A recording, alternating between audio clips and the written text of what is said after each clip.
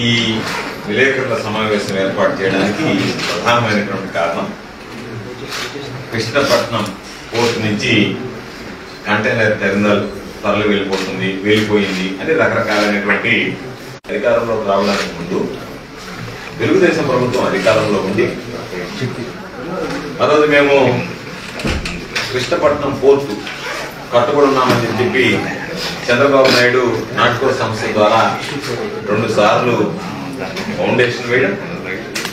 వేసినటువంటి శిలాఫలకం సమాధి రాయిలాగా మారిపోయి వెక్కిరించేటువంటి విధంగా ఉండడం. రెండు వేల నాలుగులో మహానేత రాజశేఖర రెడ్డి గారు ముఖ్యమంత్రి అయిన తర్వాత కృష్ణపట్నం పోర్టుని పూర్తి చేసి ఆ టర్మ్లోనే మరలా ఎన్నికలకు పోయే లోపలనే దాన్ని జాతికి అంకితం చేయడం కూడా పూర్తి చేయడం జరిగింది. దానిలో అన్ని అక్కడ ఉన్నటువంటి ఎంప్లాయీస్ నాకు ఒక లేఖ ఇవ్వడం జరిగింది. ఇరవై నాలుగు జనవరి తేదీ. వాళ్ళు దాంట్లో క్లియర్గా మాట్లాడారు. దాదాపుగా ఆరు లక్షల కంటైనర్లు ఇక్కడికి వచ్చేవి. అక్కడ నుంచి కొన్ని ఇంపోర్ట్ చేసుకునేటువంటి వాళ్ళం. ఇంపోర్ట్ చేసుకునేటువంటి దాంట్లోనే ఎక్స్పోర్ట్ జరిగేది. ఆ తర్వాత కోవిడ్ కష్టకాలంలో కూడా నాలుగు లక్షల కంటైనర్లు మనం హ్యాండిల్ చేశాం కృష్ణపట్నంలో. అయితే కృష్ణపట్నం పోర్టుకి సంబంధించి రెండు వేల ఇరవై ఒకటి నుంచి ఇరవై మూడు మధ్య డ్రాస్టిక్గా బిజినెస్ పడిపోయింది. వెజల్స్ రావడం తగ్గిపోయాయి. దాని అర్థం మాకున్నటువంటి సమ- వాళ్ళకున్నటువంటి సమాచారం ప్రకారం అదానికి ఉన్నటువంటి సొంత ఏదైతే ఎన్నోరు కట్టుపల్లి అని ఉన్నాయో వాటి నుంచి కృష్ణపట్నంకి రావాల్సినటువంటి వెజల్స్ని వాటికి డైవర్ట్ చేస్తున్నారు. దానివల్ల అక్కడికి డైవర్ట్ అయిన వల్ల ఇక్కడ బిజినెస్ మొత్తం కూడా ఈరోజు ఇబ్బందులు పాలవుతుంది కాబట్టి మాకు మళ్ళా కృష్ణపట్నం పోర్టుకు వెజల్స్ వచ్చేటట్టుగా ఏర్పాటు చేయండి అని చెప్పి అక్కడ ఉన్నటువంటి రకరకాలైనటువంటి వాళ్ళు ఉన్నటువంటి లైనర్స్ కానీ వెజల్ ఏజెంట్స్ కానీ దానికి సంబంధించినటువంటి అనేక రకాలైనటువంటి ఎక్స్పోర్ట్ ఆఫీసర్స్ సంబంధించినటువంటి సిబ్బంది ఇంపోర్ట్ ఆఫీసర్స్ సంబంధించినటువంటి సిబ్బంది ట్రాన్స్పోర్ట్ ఆఫీసర్స్కి సంబంధించినటువంటి సిబ్బంది వీళ్ళందరం ఉన్నాం. దీనికి సంబంధించి అని ఒక వినతి పత్రం ఇవ్వడం జరిగింది. అది అందిన వెంటనే ఇరవై నాలుగో తేదీ నేను కేంద్ర మంత్రికి శర్బానంద సోనోవాల్ గారికి కేంద్ర మంత్రిగా పనిచేస్తున్నటువంటి ఆయనకి షిప్పింగ్ పోర్ట్స్ వాటర్ వేస్ సంబంధించినటువంటి గవర్నమెంట్ ఆఫ్ ఇండియా మంత్రిగా రాస్తూ కాపీ కూడా ఆదాని కృష్ణపట్నం పోర్ట్ సిఇఓ గారికి కూడా పెట్టడం జరిగింది. అనేక సందర్భాల్లో దాని గురించి కూడా మాట్లాడి ఈ కృష్ణపట్నం పోర్టుకు సంబంధించి గతంలో కూడా ఒక ప్రెస్ మీట్ పెట్టి స్పష్టంగా చెప్పారు ఒకవేళ కృష్ణపట్నం పోర్టు నుంచి కంటైనర్ తరలి వెళ్ళేటువంటి పరిస్థితి ఏర్పడితే అందరికన్నా ముందు నిలబడి పోరాటం చేయడానికి నేను వెనకాడను అని చెప్పి స్పష్టంగా చెప్పడం జరిగింది. కృష్ణపట్నం పోర్టుకి సంబంధించి వాళ్ళ అధికారులు అక్కడ ఉన్నటువంటి సీఈఓ జీజారావు గారితో మాట్లాడితే పోర్టు నుంచి మేము తరలించడం లేదు కంటైనర్ టెర్మినల్ని యథావిధిగా సేవలు కొనసాగుతాయని చెప్పి ఆయన చెప్పడం జరిగింది. దాని మీద అటు కేంద్ర ప్రభుత్వాన్ని మీద కానీ ఇటు పోర్టు యాజమాన్యాన్ని కానీ మేము కోరేది మీరు కృష్ణపట్నం పోర్టు కంటైనర్ టర్మినల్ని తరం తరలించడం లేదు అనేటువంటిది వాస్తవమే. కానీ తరలించకపోయినా కృష్ణపట్నం పోర్టులో టెర్మినల్ ఉన్నా వ్యాపార లావాదేవీలు జరగకపోతే ఆ కంటైనర్ టెర్మినల్ వల్ల ఉపయోగం ఉండదు అనేటువంటిది అటు కేంద్ర ప్రభుత్వం దృష్టికి తీసుకెళ్ళాం ఇటు కృష్ణపట్నం పోర్టు యాజమాన్యం దృష్టికి తీసుకెళ్ళాం. దానిలో గవర్నమెంట్ ఆంధ్రప్రదేశ్ రాష్ట్ర ప్రభుత్వం సీరియస్గా స్పందించింది. కేంద్ర ప్రభుత్వానికి కూడా మీరు పోర్చుకు సంబంధించి ఖచ్చితంగా వెదర్స్ ఇక్కడ పంపించాల్సిందే అనేది ఆ విధంగా నిబంధనలు వేళకి విధించండి అని చెప్పి చెప్పడం జరిగింది. ఉన్నటువంటి స్పెషల్ చీఫ్ సెక్రటరీగా ఉన్నటువంటి యువరాజ్ గారు మాట్లాడారు.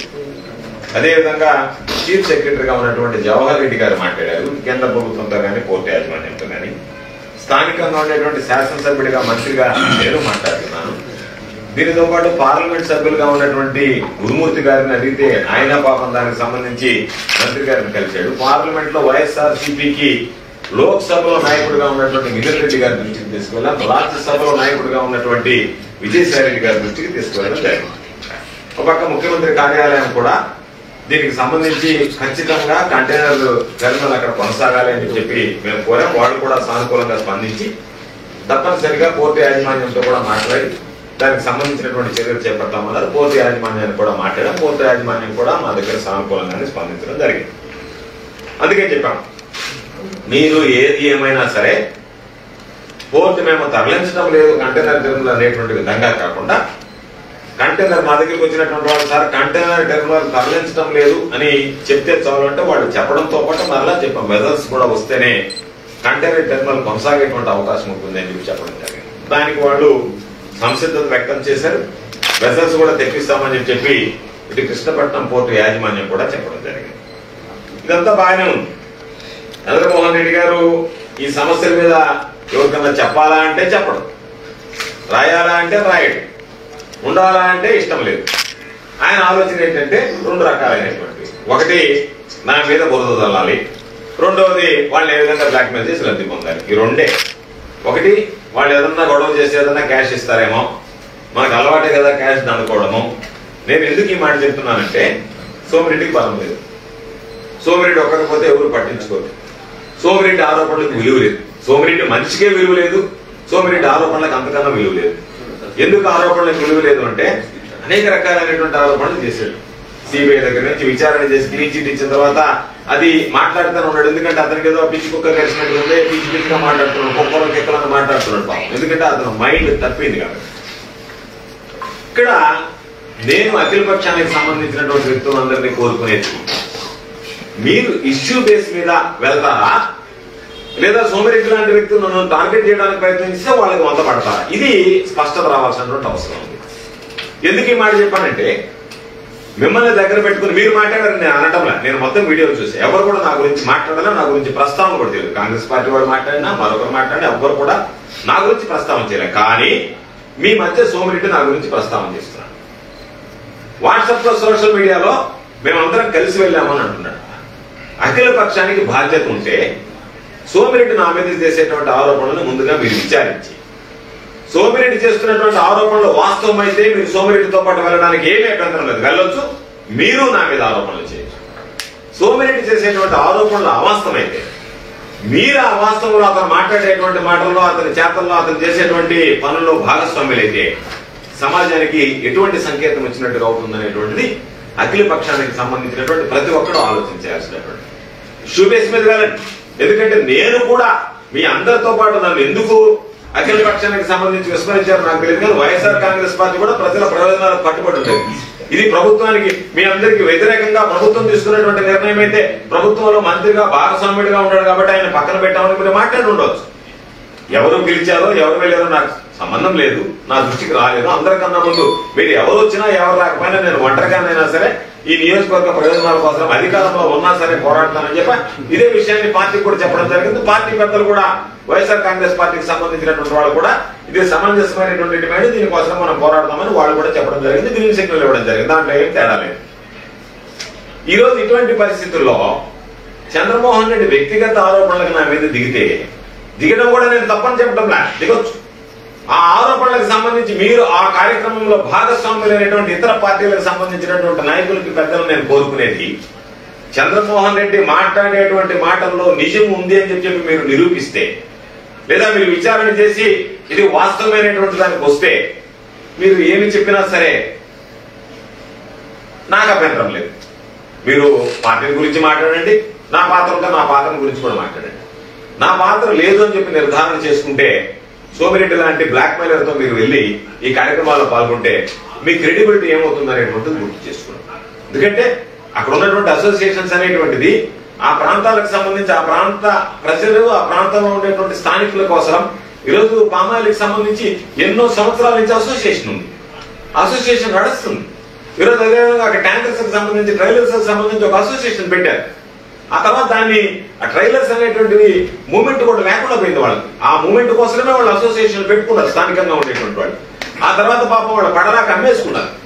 అమ్మేసుకున్న తర్వాత స్థానికంగా ఉండేటువంటి వాళ్ళు మాకు ట్రైలర్స్ లేకుండా పోయాయని చెప్పి అసోసియేషన్ కూడా తీసేశారు. కాబట్టి ఈ అసోసియేషన్లని చంద్రమోహన్ రెడ్డి హయాంలో కూడా పామాయిల్ అసోసియేషన్ ఉంది. ఎందుకుంది?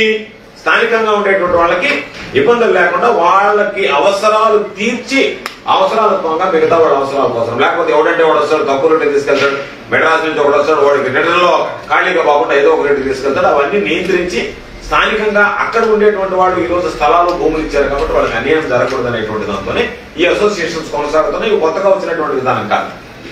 దానిలో నేను అఖిల పక్షాన్ని ఎక్కడ తప్పు పడుతున్నాను అంటే మీరు చంద్రమోహన్ రెడ్డితో వెళ్ళి ఎందుకంటే సోమిరెడ్డి అనేటువంటి వాడు న్యాయ టికెట్ కార్డు ఏమాత్రం విలువ లేనటువంటి వాడు. అటువంటి న్యాయ టికెట్ కార్డుతో మీరు పోతే గతంలో మీకు ఒక చేదు అనుభవం ఉంది. సెంకార్ప విషయంలో మీరు అందరూ కలిసి పోరాటం చేశారు. సెంకార్ప్ ఏమన్నా ఆపారా? తర్వాత చంద్రబాబు నాయుడు అధికారంలోకి రాలేదా? వచ్చిన తర్వాత మీరు ఏదైతే దీనివల్ల వాతావరణ కాలుష్యం ఏర్పడుతుంది ఊర్లు ఊర్లకు పాకుతున్నాయని చెప్పి చెప్పి మీరు చేసినటువంటి ఉద్యమంలో ఆ రోజు సోమిరెడ్డి భాగస్వామ్యుడు కాదా? సోమిరెడ్డి ఎందుకు మిమ్మల్ని వదిలిపెట్టి తెలుగుదేశం పార్టీ అధికారంలోకి వచ్చిన తర్వాతనే అక్కడ ఉన్నటువంటి సింగపూర్ వాటికి అనుకూలంగా మాట్లాడాడు? ఎందుకు మీరు ఆ రోజు నిలదీయలేకపోయారు సోమిరెడ్డిని? మరలా మీరు వెళ్ళి సోమిరెడ్డి ఉచ్చులో ఎందుకు పడుతున్నారు? సోమిరెడ్డి మాయలో మీరు పడి దానివల్ల ఆ ప్రాంతం ఉండేటువంటి ప్రజలకు అన్యాయం చేసినటువంటి వాళ్ళు అవుతున్నారు. నిన్న మీరు వెళ్ళినప్పుడు చెప్పుతో కొట్టినట్టుగా సోమిరెడ్డికి చెప్పాడు అక్కడ ఉన్నటువంటి సీఈఓ. చెప్పుతో కొట్టినట్టుగా చెప్పాడు ఏమని చెప్పాడంటే ఈ విషయంలో ఆంధ్ర రాష్ట్ర ప్రభుత్వం నుంచి మాకు ఒత్తిడి ఉంది. మంత్రి గారి దగ్గర నుంచి మాకు ఒత్తిడి ఉంది. తల్లి లాంటి సంస్థకి మీరు అందరూ కలిసి ద్రోహం చేస్తున్నారు.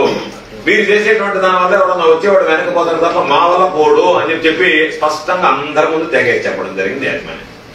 కాబట్టి దీనిలో సంబంధించిన దాంట్లో ప్రధానమైనటువంటి పాత్ర పోషించాల్సినటువంటిది బీజేపీ. బీజేపీ అధ్యక్షుడు కూడా పోయాడు. అసలు ఆయన అవగాహన ఉండిపోయాడా అవగాహన లేకపోయాడా? చంద్రమోహన్ రెడ్డి చేసేటువంటి ఆరోపణలు ఎవరి మీద? కేంద్ర ప్రభుత్వం మీద అదాని మీద. వాళ్ళు టెర్మినల్ తరలిస్తున్నారు. వాళ్ళు తరలించినప్పుడు వాళ్ళు నియంత్రించడంలో ప్రధానమైనటువంటి పాత్ర రాష్ట్ర ప్రభుత్వం కన్నా కేంద్ర ప్రభుత్వం పోషిస్తుంది. కేంద్ర ప్రభుత్వంలో బీజేపీ అధికారంలో ఉంది. బీజేపీకి సంబంధించినటువంటి జిల్లా అధ్యక్షుడు స్పందించి ఆ ప్రాంతానికి సంబంధించినటువంటి వాడే కాబట్టి స్పందించి దీనిని వాళ్ళ నాయకుల ద్వారా కేంద్ర ప్రభుత్వం దృష్టికి తీసుకువెళ్ళి కేంద్ర ప్రభుత్వం ఒకవేళ నష్టం వచ్చినా వైబిలిటీ గ్యాప్ ఫండింగ్ ద్వారా లేదు వాళ్ళకి మేము ఆ నష్టాన్ని పూరిస్తాం భర్తీ చేస్తాం ఇబ్బంది లేదు. కాబట్టి మీరు వెసల్స్ నడపండి అనేటువంటి ఒక హామీని అనేది తీసుకురావాల్సినటువంటి అవసరం ఉంది. కాబట్టి వీటన్నిటిని పక్కన పెట్టి ఈరోజు సోమరికి అనేక రకాలైనటువంటివి జరిగాయి. నా మీద చేసినటువంటి కేసులకి సోమిరెడ్డి చేసినటువంటి ఆరోపణలు ఏవి కూడా నోరు తెరిస్తే సోమిరెడ్డి అబద్ధాలు. సోమిరెడ్డి ఈ విషయంలో కేవలం డబ్బులు దండుకోవడానికి బ్లాక్ మెయిల్ చేయడం తప్ప సోమిరెడ్డికి చిత్తశుద్ధి లేదు. కాబట్టి సోమిరెడ్డి పొలిటికల్ గెయిన్స్ కోసం నా మీద బురదలేటువంటి కార్యక్రమానికి సోమిరెడ్డి పాల్పడితే మీరు అటువంటి పనికిమాలతో చేరి మీరు ఎటువంటి సంకేతాలు ఇస్తున్నారు ఈ సమాజానికి అనేటువంటిది ప్రతి ఒక్కరూ ఆలోచన చేసుకోవాల్సినటువంటి సందర్భం అని చెప్పి చెప్పి మీ అందరికి తెలియజేస్తున్నాను. ఈ ఇష్యూ ఎస్ పోరాడాల్సినటువంటిది. ఖచ్చితంగా పోరాడదాం. ఎవరు పొందాలో వాళ్ళు పోరాడండి ఇబ్బంది లేదు. కానీ ఆ పోరాడేటువంటి దాంట్లో ఒక పర్సనల్ అజెండాను తీసుకొచ్చి ఆయన చొప్పిస్తే ఆ అజెండాలో మీరు పాత్రసారులు అయితే ఇంతకన్నా దౌర్భాగ్యమైనటువంటి పరిస్థితులు అఖిల పక్షం మీద కూడా ప్రజలు నమ్మకాన్ని కోల్పోయేటువంటి పరిస్థితులు క్రమంగా ఏర్పడేటువంటి స్థితి రాబోతుంది వస్తుంది అని చెప్పి నేను ఈ సందర్భంగా తెలియజేస్తున్నాను.